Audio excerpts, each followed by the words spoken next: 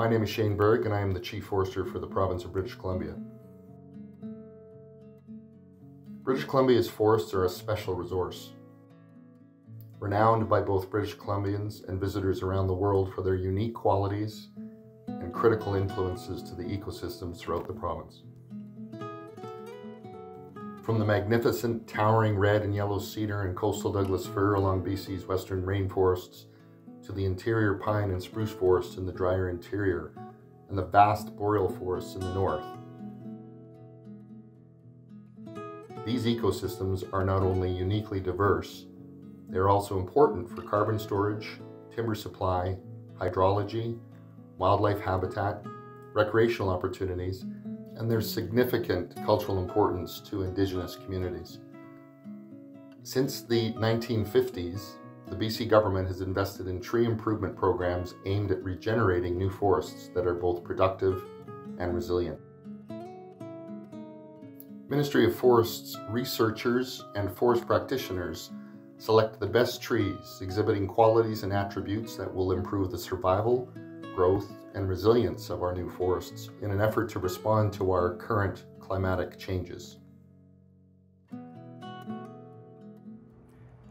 So in our reforestation programs in the past, we were trying to make trees that were growing bigger and faster. And now we have taken those same methods and we're using them to try to grow trees that are healthier and more resilient to the climate. In BC, we go through a huge amount of effort to make sure that the trees that we're using for reforestation are as resilient as possible.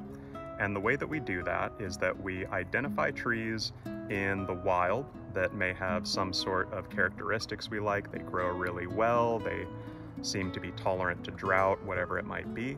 On those trees, we pick the cones off them, which have seeds inside. And we take those seeds, we grow them into seedlings, we plant those seedlings out into research trials in the forest. So every tree that we like we have hundreds of seedlings from them that we're testing in different environments and we monitor those seedlings, we measure them, and we use that to say, well, this tree's really good, this tree's not so good. And then we take the trees that we like and we take little cuttings of them and we graft them into a seed orchard, which is what we have behind us here. And these are the actual trees that are all pollinating each other and producing the millions of seed that we use to reforest every year.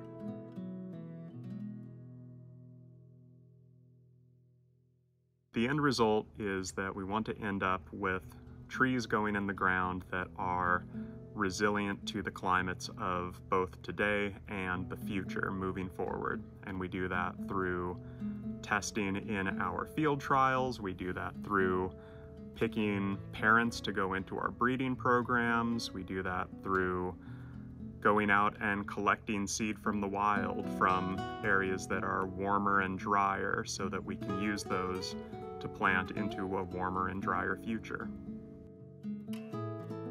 Innovation is at the core of our reforestation efforts. Through research and science-based selection and testing strategies, we're helping create forests that are more resilient and matched to the sites that we hope to regenerate for a host of objectives.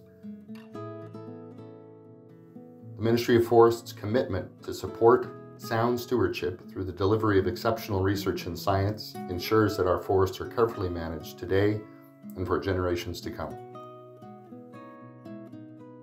I hope you'll all take a moment to reflect on the importance of the forests to not only your lives, but to those of British Columbians around the province. Have a great National Forest Week.